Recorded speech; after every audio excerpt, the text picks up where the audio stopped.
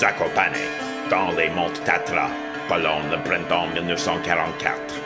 Cher frère, méfie-toi des menteurs, des tricheurs, des voleurs qui prétendent être vos sauveurs.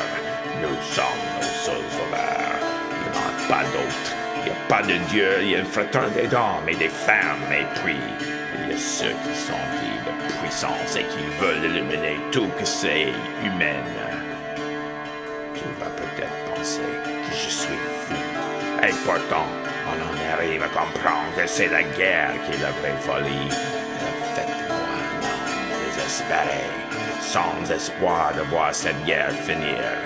Mais aussi longtemps que nous continuerons à nous battre dans les guerres comme cela et pas à nous battre contre l'idée de guerre elle-même, nous n'aurons jamais la paix sur cette terre. Je ne connais pas la paix. Dans une caverne près d'un torrent de montagne au-dessous de Zakopane. L'air est froid. Je peux voir des kilomètres au-delà des Tatras couverts de neige. Avant, il y avait des ours qui vivaient ici.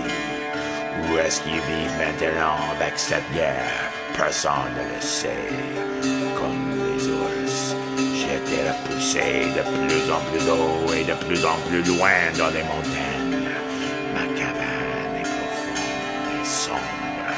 Le sol est couvert de hostanismo. Et moi, oui, moi, je suis le nouveau animal, le nouveau ours. Et personne ne sait que je suis. Je mange des petits fruits sauvages. Je piège des lapins. Et hier soir, mon frère, j'ai volé la nourriture aux Allemands, leur couverture, leur fusil. J'écris cette de papier à eux avec une de leurs plumes. Cette nuit, je vais fumer le tabac. Ne t'en fais pas pour moi, cher Franic. Je prends soin de moi.